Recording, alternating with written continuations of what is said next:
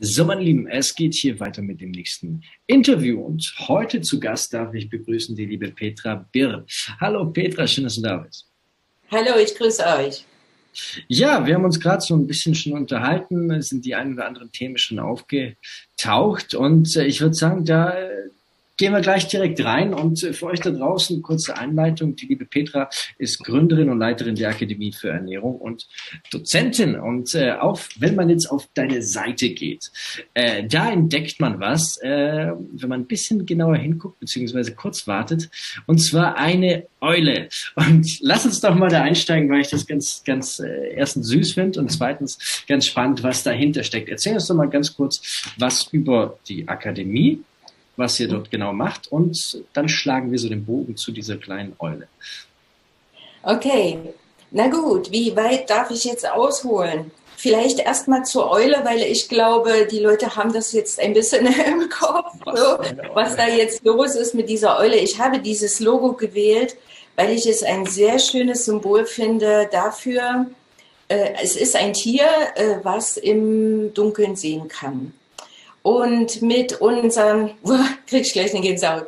Also, und äh, mit unseren Ernährungs- und Gesundheitsinformationen ist es ähnlich. Wir müssen im Dunkeln sehen lernen, um gesund zu bleiben und uns die Informationen ziehen. Und da bin ich Gregor total dankbar, dass er hier sowas äh, Maximales auf die Beine stellt, äh, damit jeder an diese Informationen kommt. Und im Prinzip ist es auch mein, äh, wie soll ich sagen, meine Grundtätigkeit, äh, Menschen, die äh, gesundheitliche Probleme haben, fitter werden wollen, einfach den Weg der Natur wieder zu erkennen. Und da gibt es viele Stolperstellen, wo wir Fehlinformationen haben, wo es ist auch ein bisschen, ich biete ja Ausbildung an zum Ernährungsberater, speziell in Richtung naturbelassene Kost. Und da ist es äh, oft schwierig, also wir, ich begleite das dann auch über mehrere Monate, sind wir dann zusammen connected mit den ganzen Informationen. Wie reagiert denn mein Körper, wenn ich jetzt besser esse? Wie soll ich dann, sind es jetzt Symptome? Ist das eine Krankheit? Was macht er denn? Also es geht darum, die ursprüngliche Gebrauchsanweisung unseres galaktischen Körpers wieder neu zu entdecken. Das klingt spannend.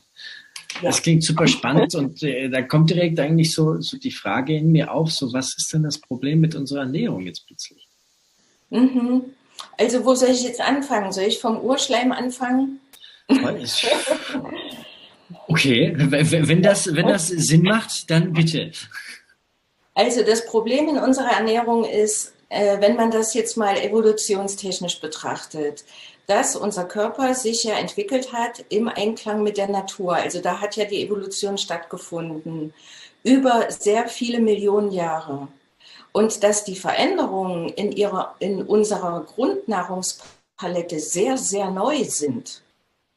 Wenn man sich das jetzt mal genetisch betrachtet, also äh, vom Schimpansen Genetik vom Schimpansen zu unserer Genetik. Was würdest du, Gregor, denken, wie viel Prozent gibt es Unterschied in der DNA von Schimpansen zu Menschen? Schätz mal. Also, mein Ego sagt mir nicht so viel. Wenn ich jetzt aber schon auf die Frage eigentlich, also okay, vielleicht 70 Prozent, 60? Identisch, meinst du?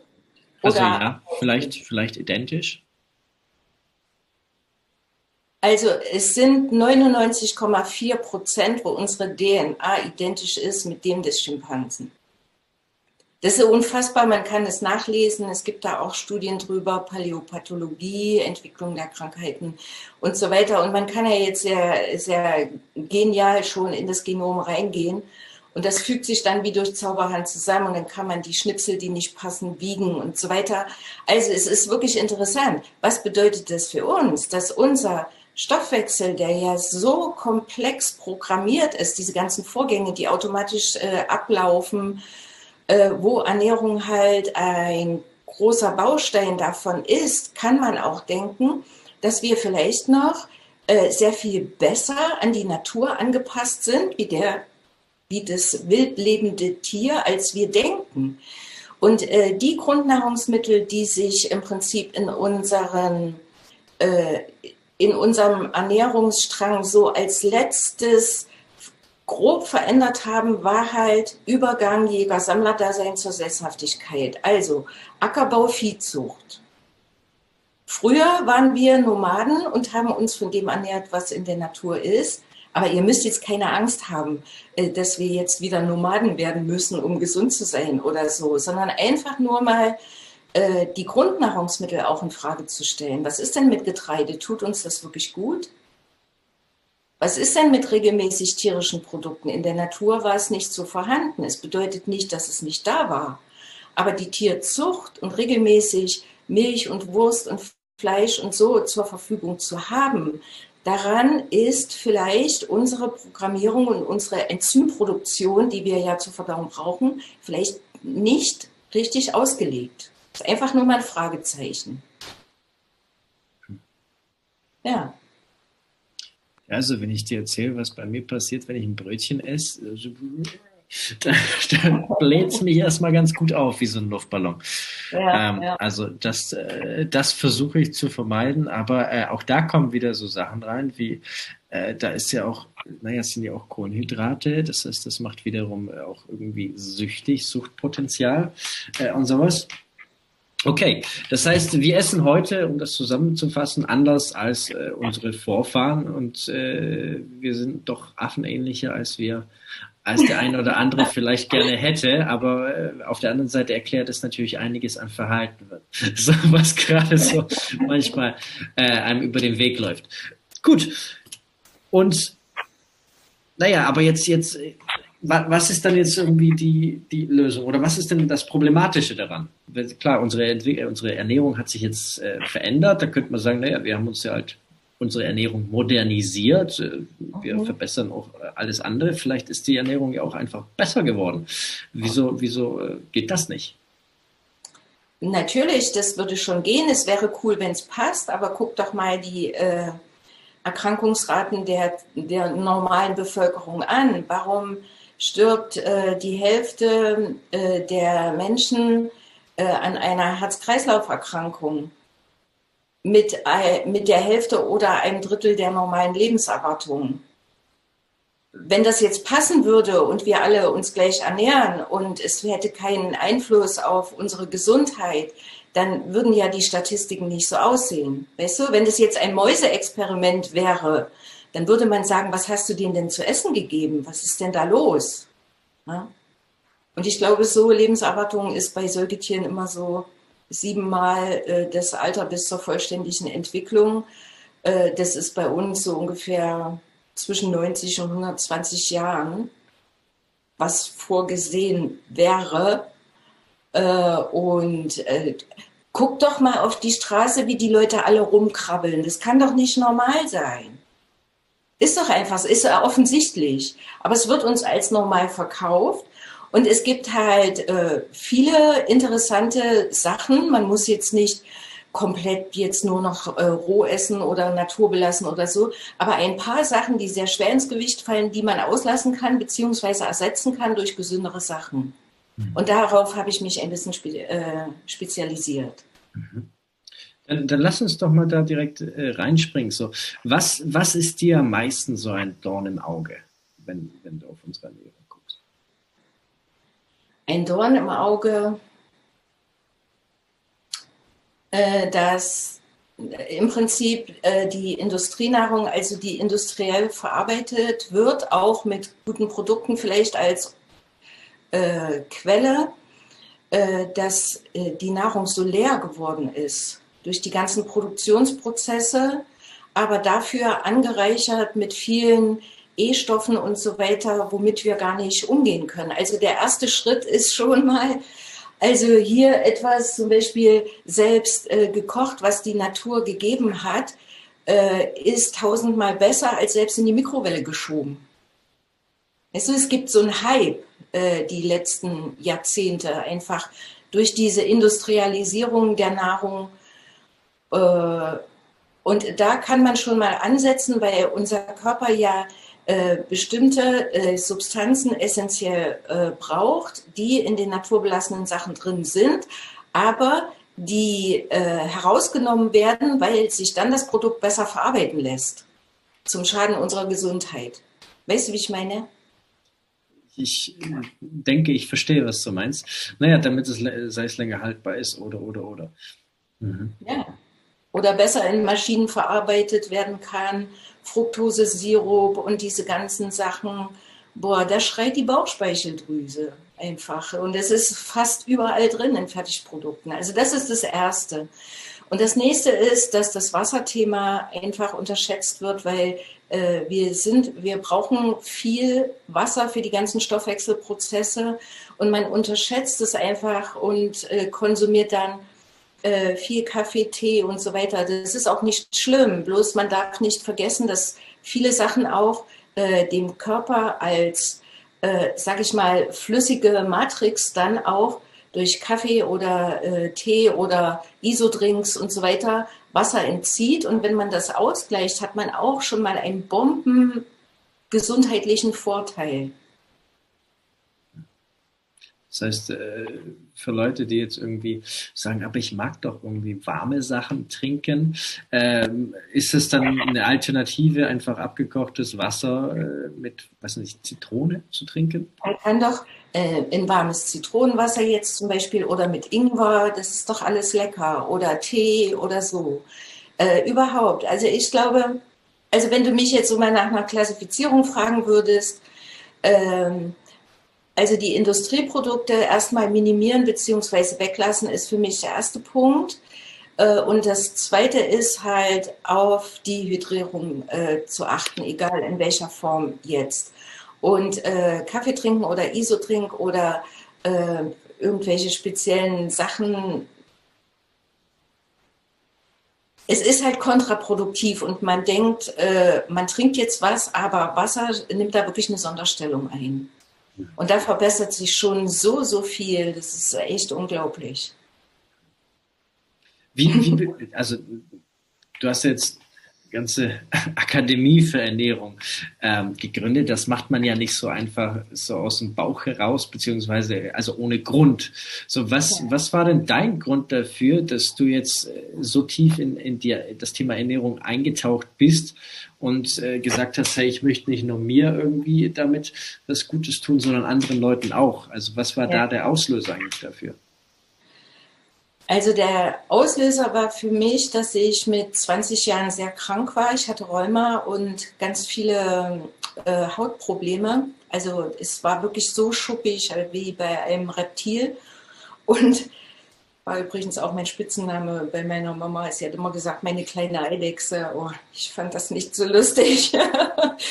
Auf jeden Fall war ich da bei den Ärzten und dann gab es da Teerbilder und dann gab es da Salben und es hat aber nicht geholfen. Und dann habe ich gesagt, Mann, ich werde doch jetzt nicht mein Leben lang Schmerzmedikamente gegen mein Rheuma nehmen. Äh, da muss es doch irgendwas anderes geben. Und dann bin ich durch Literatur auf ein äh, Institut, also auf ein Forschungsprojekt aufmerksam geworden, wo man versucht hat, äh, was passiert, wenn die Leute sich 100% naturbelassen ernähren. Und ich konnte daran teilnehmen von 1992 bis 2002 und da haben wir nichts anderes gemacht, keine anderen therapeutischen Maßnahmen, als die Leute auf naturbelassene Kost umzustellen.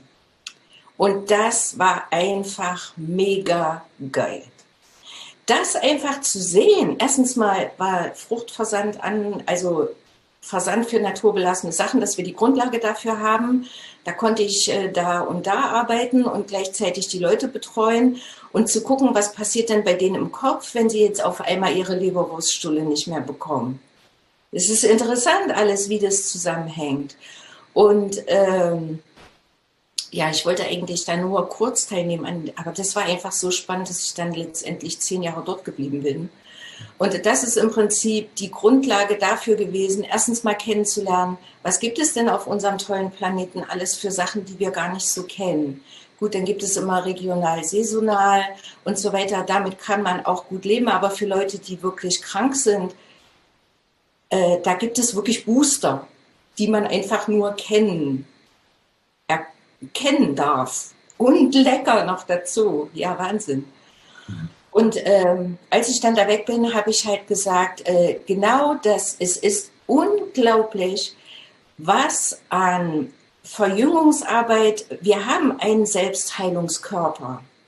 Wir müssen ihnen äh, nur die Möglichkeit geben, das einfach zu machen. Es ist eigentlich gar nicht schwer, sondern man muss es nur wissen. Und deswegen, als ich dann zurückgekommen bin, habe ich noch Heilpraktiker-Ausbildung, Ernährungsberater und so ein bisschen bla hinten dran gemacht.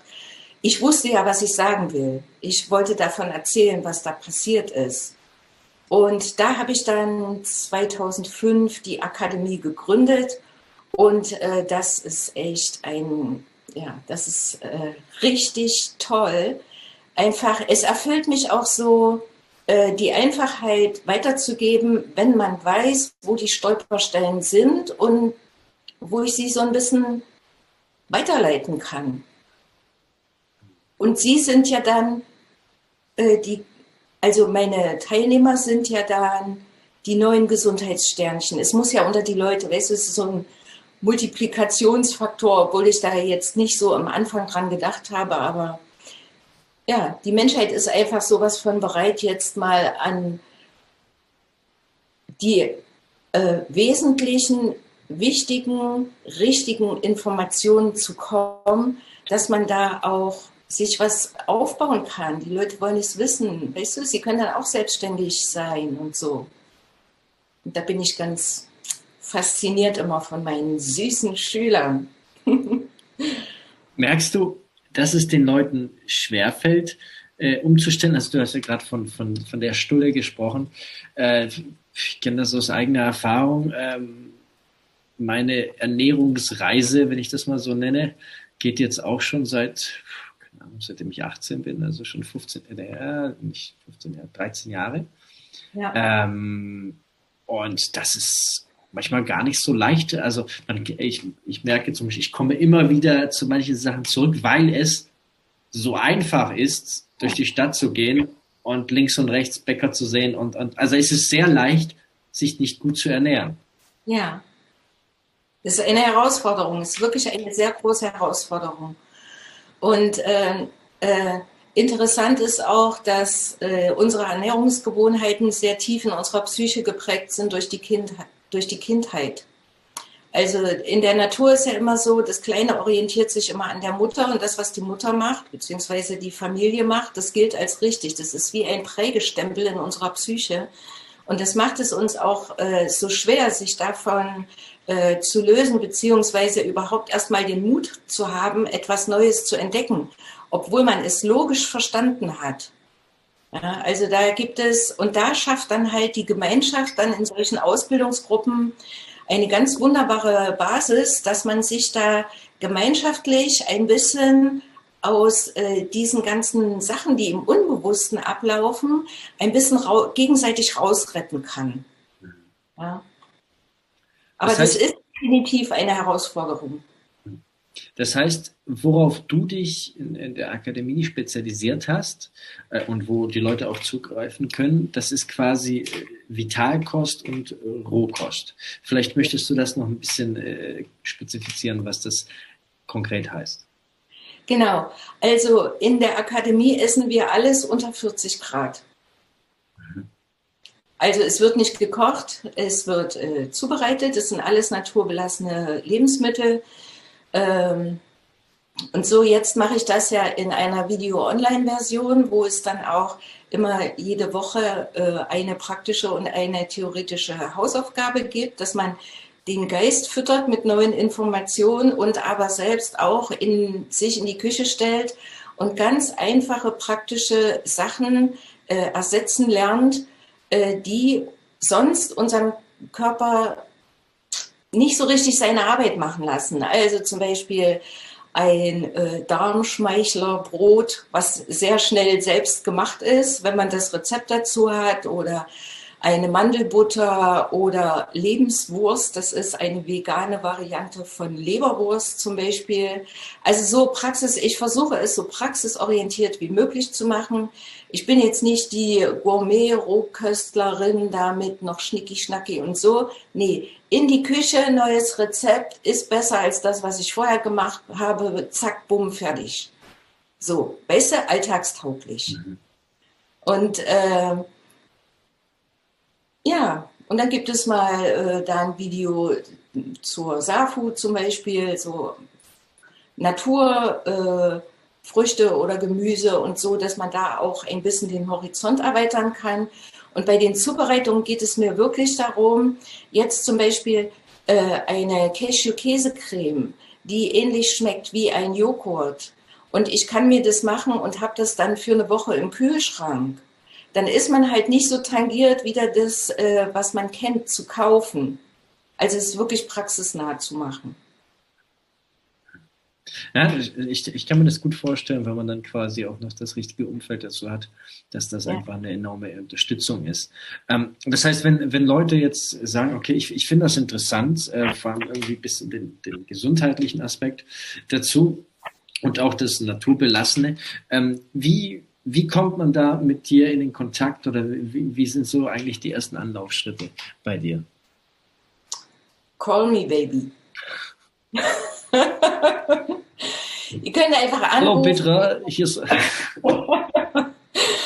also, ja, ich habe eine Internetseite petra-bö.de und da gibt es einen Knopf mit Ausbildung. Ich habe da auch Erfahrungsberichte drunter verlinkt, wo ehemalige Teilnehmer ein bisschen sprechen, sich selbst zu bewerben. Mir ist das irgendwie immer unangenehm, aber äh, ja, guckt einfach auf die Seite. Ich habe auch einen YouTube-Kanal mit ein paar äh, schnellen, einfachen Rezepten. Und ansonsten, wenn ihr Fragen habt, schreibt mir eine E-Mail oder, oder ruft mich einfach an. Das ist die einfachste Variante. Ich bin jetzt nicht so der Verkaufsstratege da irgendwie. Aber doch, äh, ich habe jetzt äh, ein Bonusprogramm immer zeitweise laufen, wo die persönliche Betreuung mit drin ist und der Kurspreis ist auch noch mal günstiger. Also guckt da immer mal auf die Seite und wenn das gerade läuft, dann meldet euch da an. Dann sammle ich mir immer ein paar Leute und äh, wenn wir dann 15, 20 Leute sind, dann starte ich so einen Kurs und wir gehen halt die Unterrichtsthemen gemeinsam durch. Das hat einen großen Vorteil der Motivation und auch, dass ich dann immer direkt fragen äh, kann, ist es gut rübergekommen? Wie hast du das verstanden? Hast du jemanden in deiner Familie? Hast du da noch Fragen und so? Also das ist so ein bisschen, ist es anders als andere Fernkurse, wo du jetzt nur das Unterrichtsmaterial bekommst und du musst dich dann da selbst durchquälen. Ja, Definitiv, das macht Sinn. Wie gesagt, wenn da jemand ein bisschen auf die, auf die Finger guckt und man äh, einfach direkt Fragen stellen kann, dann ist ja. das natürlich ein immenser Vorteil. Mhm. Das findet man alles bei dir auf der Seite. YouTube-Kanal gibt es auch und am besten Klingeling bei dir durchklingeln. Ähm, mhm. Ich mache so, ich nehme mir die Links von dir, pack das alles unter dieses Video drunter. Das heißt für euch da draußen, ihr könnt ganz einfach hier draufklicken und kommt direkt zu den ganzen Infos über die Petra, über alles, was sie macht und äh, könnt da rumstöbern, könnt euch anmelden.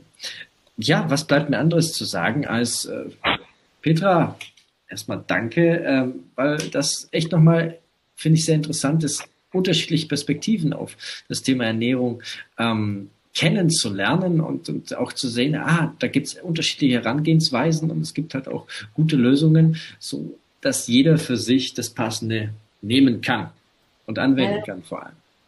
Ja, also es ist im Prinzip ein bisschen, wenn man so will, äh, trendbefreit. Ja. Was ist denn die Basis davon? Wie ist es so? Also diese, diese Natürlichkeit und was kann ich mir erlauben und kann trotzdem gesund bleiben und wie ist denn jetzt mein Weg? Also man kann das individuell entscheiden, was nehme ich mir jetzt davon? Wie ist denn mein innerer Kompass? Wo, was kann ich jetzt verbessern, was sich gut anfühlt? Und es ist nicht so eine äh, strenge Geschichte, du musst jetzt das und das und das machen, äh, sondern es ist einfach äh, frei wenn man bestimmte Informationen hat, die man vorher nicht hatte. Und dann kann man selbst seinen eigenen Weg wählen. Es lebe die Freiheit. Lebe die Freiheit. In diesem Sinne, Petra, herzlichen Dank für deine Zeit und dass du dir die Freiheit genommen hast, hier zu sprechen. In diesem oh, Sinne, für euch da draußen, schaut euch das alles unter diesem Video an. Alles Liebe, alles Gute und bis bald. Ciao. Danke, Gregor.